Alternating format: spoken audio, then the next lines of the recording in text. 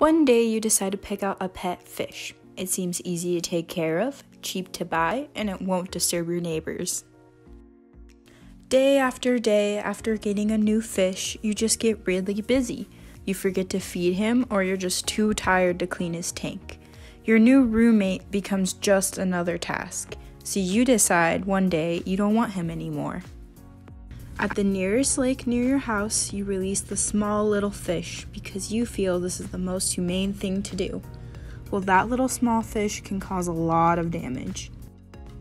Goldfish are considered an invasive species, and over time they can breed at an alarming rate. They can kill ecosystems and, in the end, be extremely expensive to remove.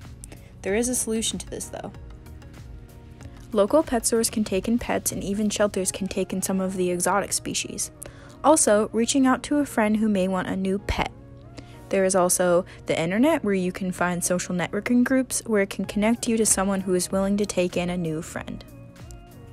In the end, having any size pet is a commitment, so just make sure you're ready for another responsibility.